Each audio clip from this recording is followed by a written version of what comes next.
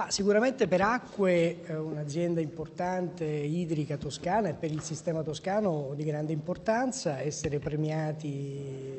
come miglior utility italiana dalla borsa, da un sistema diciamo, di riconoscimento così significativo in un momento così delicato. L'azienda eh, fa molti investimenti e riesce a essere leader nel mercato contenendo la tariffa e questo non è poco. In un momento nel quale l'autorità idrica gli ha allungato la concessione, non a caso perché così il suo piano finanziario può essere meglio sviluppato.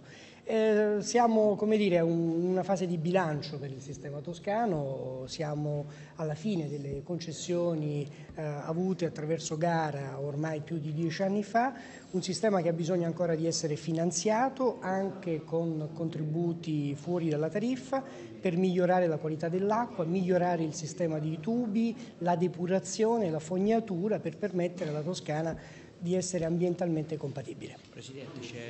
a proposito del sistema toscano c'è l'ipotesi che parla della gestione dell'acqua verso Roma, verso la capitale di Acea. Ma eh, al di là del fatto che questo è un tema che riguarda i sindaci, la domanda va posta ai comuni, io penso che da quello che ho letto il sistema toscano ha intenzione di crescere e di crescere prima di tutto mettendosi insieme sinergicamente e ovviamente confrontandosi con i partner industriali che oggi ci sono. Ma ripeto, è un tema che riguarda